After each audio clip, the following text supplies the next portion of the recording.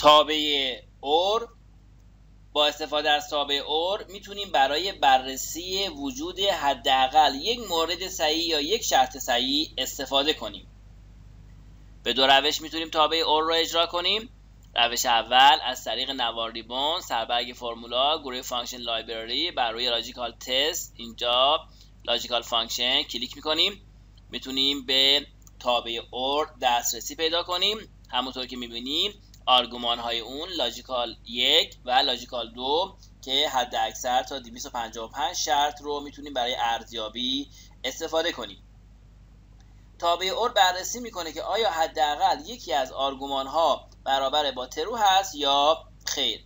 اگر تمام آرگومان ها برابر با false باشن مقدار false برگشت داده میشه.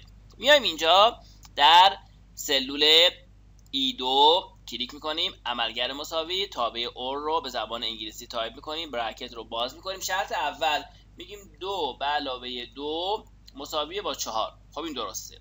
ویرگول. بعد میگیم دو به علاوه پنج مساوی با هفت. خب این اشتباهه. ویرگول. بعد میگیم یکی به علاوه چهار مساوی با پنج. این درست. حالا اینجا اگر ملاحظه کنین دو به علاوه دو چهار درسته. دو به علاوه پنج هفت اشتباس. یک به علاوه چهار پنج درسته.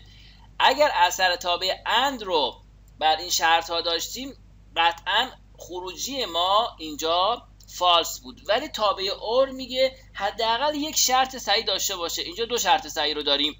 شرط اولمون دو به علاوه دو مساوی با چهار صحیحه و شرط دوم هم یک به علاوه چهار مساوی پنج صحیحه. حتی اگر اینجا بیایم یک به علاوه چهار رو اینجا ده بذاریم.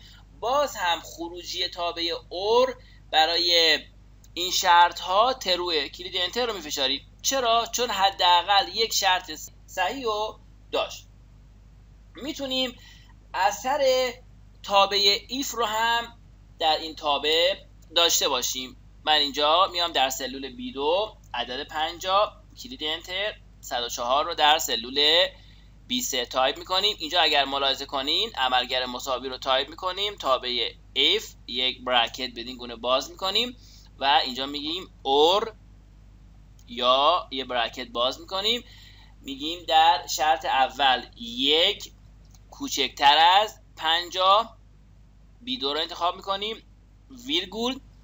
و اینجا میگیم 23 یا 104 باز هم کوچکتر از 100 برکت رو میبندیم. زبان انگلیسی ویرگول if true اگر درست باشه اینجا quotation OK رو می‌ذاریم. quotation رو میبندیم. ویرگول اگر ناصحیح باشه میگیم NOK. quotation رو میبندیم bracket رو میبندیم و کلید Enter رو میفشاریم. اینجا اگر ملاحظه کنیم خروجی کار ما OK بود. ولی در تابع اور با وجود اینکه فقط یک شرط صحیح بود. 50 یک کوچکتر از 50 درسته. ولی 104 کوچکتر از 100 نیست. تونستیم با تابع اور این خروجی رو بگیریم. اگر بخوام مقایسه کنم تابع اور رو با تابع اند تابع اند باید شرط ها تماما صحیح باشن.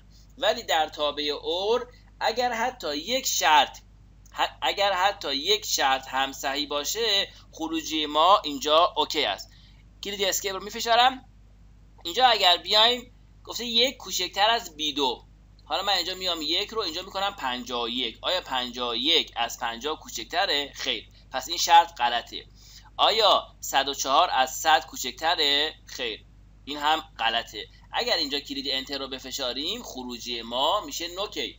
پس دقت کنید در زمانی که از تابع اور استفاده می‌کنید حتما باید حداقل یک شرط صحیح رو داشته باشین.